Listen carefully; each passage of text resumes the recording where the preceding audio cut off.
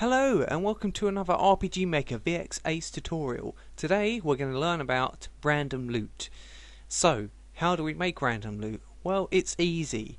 All you have to do is set up a common event in your database using one variable. That's it. That's all the work. So the variable, um, first of all, is uh, on your chest. So what I've done here is just create a quick event a treasure chest. And then at the start I've got control variables. Loot randomizer is what I've called it. Uh, hang on let's move that in frame. So uh, loot randomizer is the name of the variable. Set to a random number between 1 and 10 so that's setting uh, the variable between 1 and 10 and that is going to be called upon in a common event here. So we've done call common event random loot. So what is that common event? Well let's go to the database and find out. So uh, on the database go to common events tab click number one if you've got nothing there name it random loot then you want to have 10 conditional branches uh, each one will have um, the variable loot randomizer, which we just created, is equal to a number. So the first one is number 1, and if that variable is equal to number 1, you find a potion.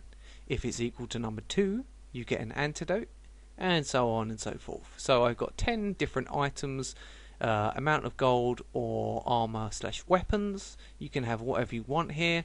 You could even have a party member come out of a box if you like a random person who joins your party. It doesn't have to be items, it could be anything you like, you know?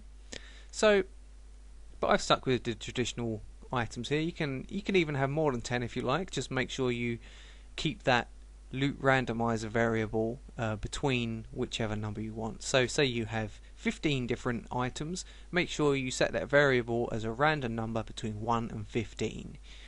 Uh, so on and so forth. So Let's uh, test this out and see how it plays. So I've created uh, three random chests over here. Let's just move these boulders out of the way.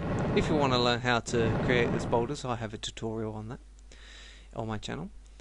So here we have three different chests with the loot randomizer. The first chest has got, drum roll please, a long sword. Excellent. The second chest has got a long bow. And the third chest has got a bronze cap. So we got quite lucky there. We got some decent items. We didn't get a potion, a crappy old potion. Who wants that? We didn't get an antidote. We got some gear. So now we can equip that to our character. So let's try that again. Let's go to the menu. Let's continue again and see what we get this time. I'm just going to cut across here using my editing skills. Uh, 100 gold this time, not so bad. A longbow, brilliant, once again. And a leather top, fantastic, we got lucky once again. There you go. So basically I've got 10 different items. Any one of those items can appear in any chest. I can get duplicates. It doesn't uh, doesn't really matter.